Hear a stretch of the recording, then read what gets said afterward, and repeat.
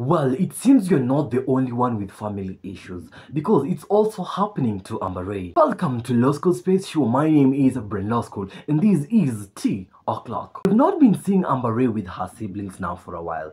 This is the reason. While on Obinna live show, Amber Ray came clean saying they have differences with her siblings. What's your relationship with your siblings? Uh, sahizi, Yes, how is it like? um, we're having our own differences.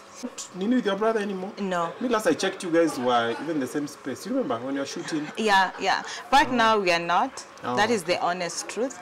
Even though they have differences with her siblings, she said she loves them and she knows they love her. But the bottom line, I love them and I know they love me.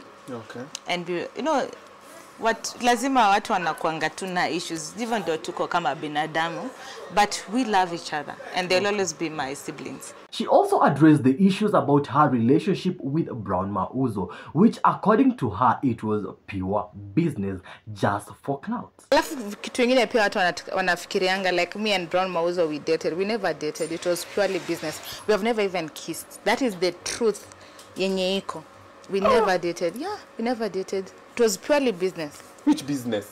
alikuwa nataka apate hiyo nini hiyo clout and whatever Mm. Something to her being featured as a video vixen on one of the Willie Paul music video. All these she said she did for free, making a joke that Brown Mauzo couldn't afford her red card. Pia kwa video Willie Paul, hiyo pia ulimsaidia?